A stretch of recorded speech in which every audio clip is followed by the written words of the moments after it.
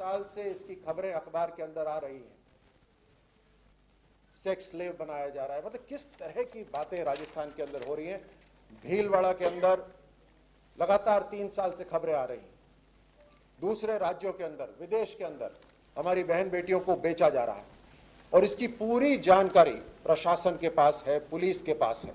सरकार इससे पूरी तरह जागरूक है इस बात से। लेकिन फिर भी आपको ताज्जुब होगा कि एक भी एफआईआर नहीं लिखी गई है।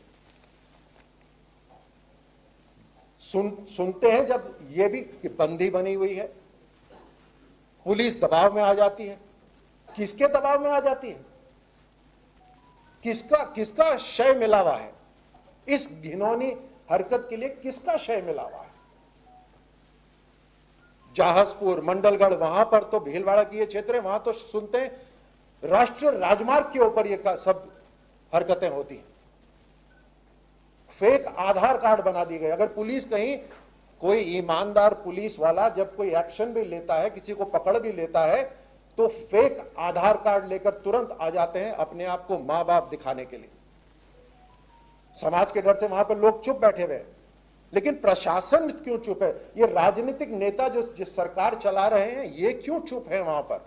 क्यों नहीं उसके ऊपर एक्शन लेते? गोदनामा हो जाता है स्टैम्प पेपर हो जाता है कि गोद दे दिया। ये किस तरह का गोदनामा हो रहा है?